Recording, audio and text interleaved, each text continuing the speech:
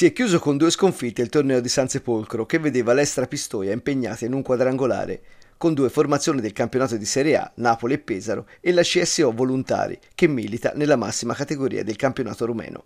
Il torneo vinto dalla squadra campana in finale contro la Volontari è stato un test importante per i biancorossi che hanno dovuto fare a meno di due pedine fondamentali come Jordan Varnado ed il play Charlie Moore, entrambi alle prese con piccoli fastidi fisici.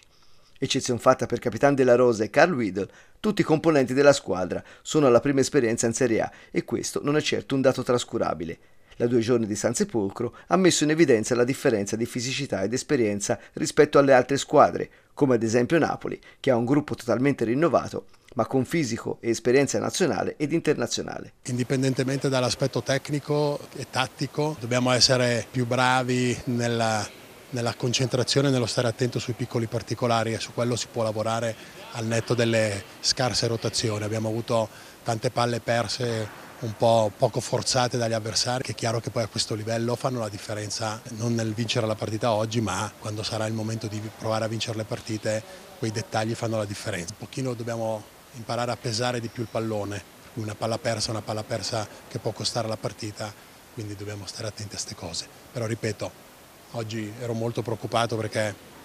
eh,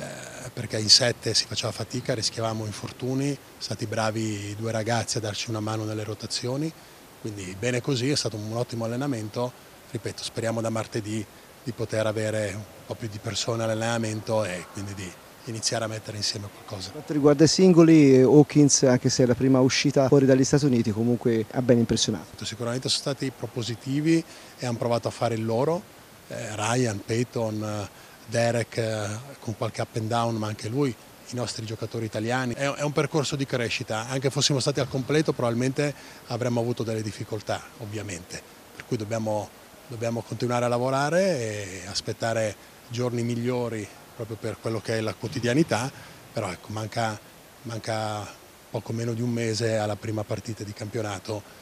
sono sicuro che arriveremo pronti per quel momento lì.